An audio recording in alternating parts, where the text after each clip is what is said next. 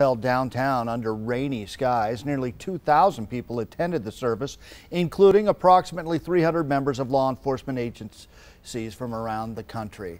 News 4 Tucson's Lupita Murillo was also at today's ceremony. She joins us live now with more. Lupita? John, thousands of people filled this parking lot here, and they were here to pay their respects to a man they call a hero and a warrior. All about honor and respect. That's the motto of the Patriot Riders who lined the entrance for Deputy U.S. Marshal Chase White. Robbie Campbell, along with the other Patriot Riders, braved the wind, the cold, and the rain. Lieutenant Colonel Chase White gave the ultimate sacrifice when he was working for the U.S. Marshal's Office, but he was also in the United States Air Force. We wanted them to know that a whole nation cares. That's why we're out here today. These are photos the United States Marshal Service provided the media from inside the convention center. Some of the speakers, a friend who served with him in the Air Force to his mother, a minister. She thanked everyone for their kindness and support.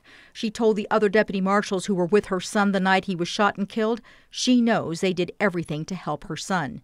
And she also said she was glad that the man who killed her son was brought in alive. She said that man had been failed so many times and that we need to do something about mental health.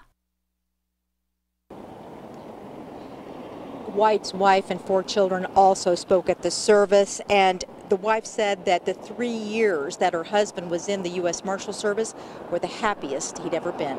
Reporting live from downtown, Lupita Murillo, News 4 Tucson.